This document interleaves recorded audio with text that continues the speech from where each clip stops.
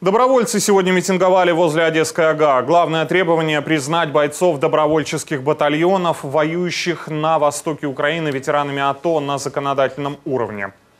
Мы сегодня приехали требовать от депутатов областного совета принятия решения о приравнивании э, участников боевых действий добровольческих батальонов, которые не имеют такого официального статуса, по льготам. Майже два роки, як я воюю, але ніяких документів у мене, звичайно, немає таких, щоб підтверджували офіційно, що я там воюю.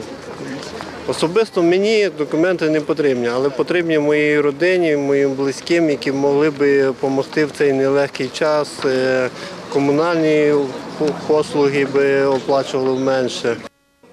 Позже бойцы все же прорвались на сессию облсовета, хотели надавить на депутатов. В результате областной совет выполнил требования и принял решение закрепить за добровольцами статус участников боевых действий, но только на территории Одесского региона.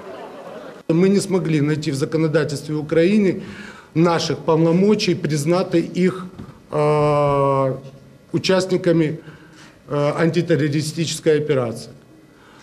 Но мы инициируем этот вопрос и передадим нашим коллегам-депутатам в Верховную Раду. Больше о том, какие еще решения были приняты на сессии, мы расскажем в итоговом выпуске новостей.